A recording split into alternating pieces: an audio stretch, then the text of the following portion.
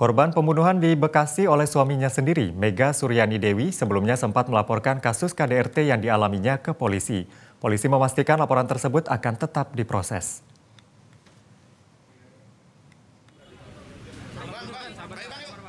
Laporan KDRT yang dialami Mega masuk pada 7 Agustus 2023, sebelum Mega meregang nyawa di tangan suaminya. Kanit Reskrim Polsek Cikarang Barat, Ibtu Said Hasan memastikan laporan KDRT belum dicabut dan masih diproses.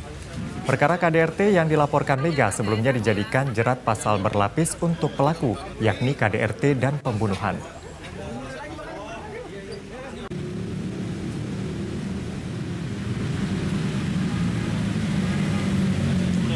Jelajahi cara baru mendapatkan informasi. Download Metro TV Extend sekarang.